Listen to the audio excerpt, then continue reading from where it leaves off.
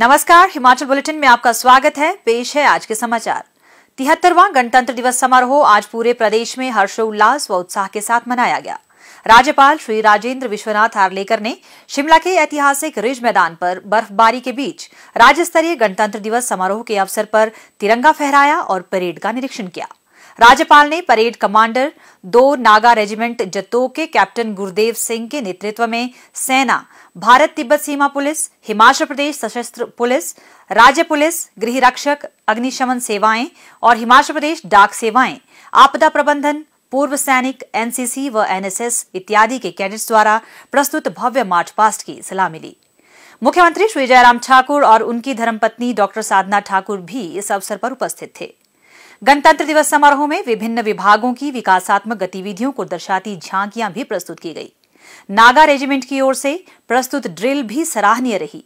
बर्फबारी और खराब मौसम के चलते सांस्कृतिक कार्यक्रमों का आयोजन शिमला के गेटी थिएटर में किया गया।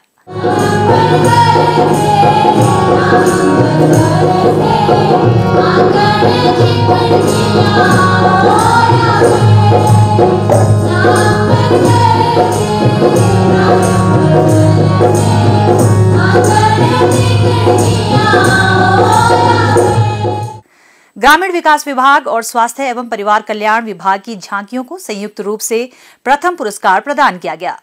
नगर निगम शिमला को दूसरा और शिक्षा विभाग की झांकी को तीसरा पुरस्कार प्राप्त हुआ। राज्यपाल ने मुख्यमंत्री श्री जयराम ठाकुर की उपस्थिति में पुरस्कार प्रदान किए।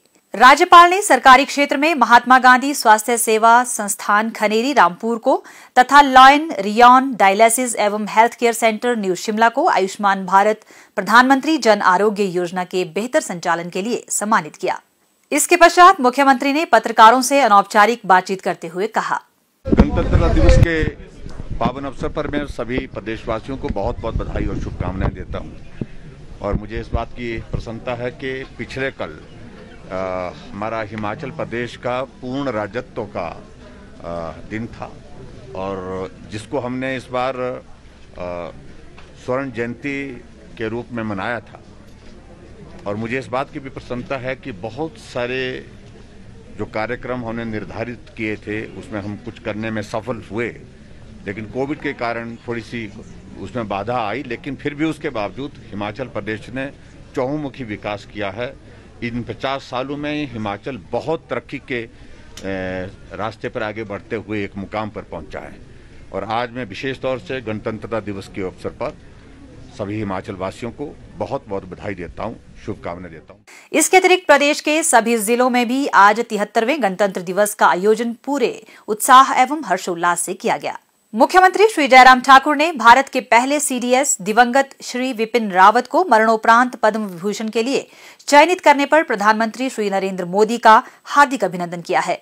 मुख्यमंत्री ने कहा कि स्वर्गीय श्री विपिन रावत एक राष्ट्रभक्त थे, जिन्होंने अपना समस्त जीवन भारत माँ की सेवा में समर्पित किया। प्रधानमंत्री श्री नरेंद्र मोदी के नेतृत्व में केंद्र सरकार ने उन्हें पद्म विभूषण देकर उनकी राष्ट्र सेवा को सम्मानित करने का कार्य किया है। मुख्यमंत्री श्री जयराम ठाकुर ने श्री विद्यानंद सरेक और श्रीमती ललिता वकील को उनके कार्य क्षेत्रों में उल्लेखनीय योगदान के लिए, पद्मश्री सम्मान के लिए चयनित करने पर बधाई दी है। मैं सभी को, ललिता जी को और दूसरे जो हमारे सिरमौर जिला के से विद्यानंद सरेक जी, जो एक कवि हैं, लेखक हैं उनको पद्मश्री अवार्ड के साथ जो है सम्मानित किया, दोनों को मैं बहुत बहुत बधाई देता हूँ। और चंबा रुमाल की आज बहुत बड़ी एक पहचान बनी है देश में, दुनिया में, और उस दृष्टि से उनने भी बहुत अच्छा काम किया है। मैं बहुत बहुत शुभकामनाएँ दोनों महानुभाव को देता हूँ। मुख्यमंत्री ने दक्षिण रेंज के पुलिस महानिरीक्षक श्री हिमांशु मिश्रा को उनकी उत्कृष्ट सेवाओं के लिए राष्ट्रपति पुलिस मेडल से पुरस्कृत करने पर बधाई दी है।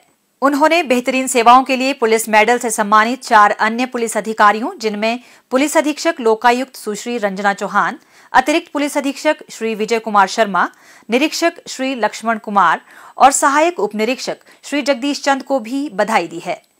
हिमाचल बुलेटिन देखने के लिए सब्सक्राइब करें YouTube channel IPR Himachal follow करें ट्विटर एट डीपीआरएचपी लाइक करें Facebook page information and public relations department Himachal Pradesh visit करें वेबसाइट www.himachalpr.gov.in इस नक में इतना ही। कल फिर होगी मुलाकात। दीजिए इजाज़त। नमस्कार।